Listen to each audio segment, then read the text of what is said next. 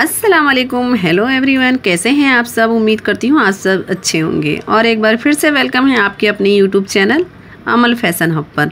तो फ्रेंड्स आज मैं आपके लिए हल्दी फ़ंक्शन में पहनने वाली ड्रेसेस की आइडिया लेकर आई हूँ, जो कि बहुत ही खूबसूरत ड्रेसेस हैं। तो आप इन ड्रेसेस को एक बार ज़रूर देखिएगा।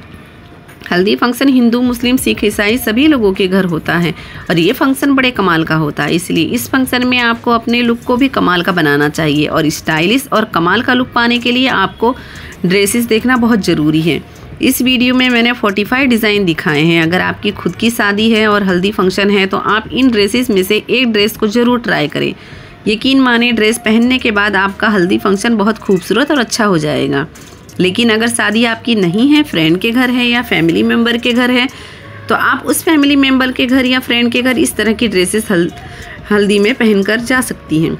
क्योंकि हल्दी फ़ंक्शन में ज़्यादातर चांस होता है कि कपड़ों पर हल्दी लग जाएगी तो आप पीले रंग के कपड़ों का चॉइस कर सकती हैं, जिससे कपड़ों में दाग ना लगे तो ये ड्रेसेस अच्छी लगती हैं। वैसे भी आज कल फ़ैशन का दौर है तो आजकल कलर कॉम्बिनेशन के ऊपर बहुत ज़्यादा फोकस किया जाता है। और हमने इस वीडियो में हल्दी के जो ड्रेसेस दिखाए हैं, वो लेटेस्ट ट्रेंडी डिज़ाइन है। इन ड्रेसेस का चलन बहुत है। महिलाएँ इस तरह की ड्रेसेस को बहुत वियर कर रही हैं।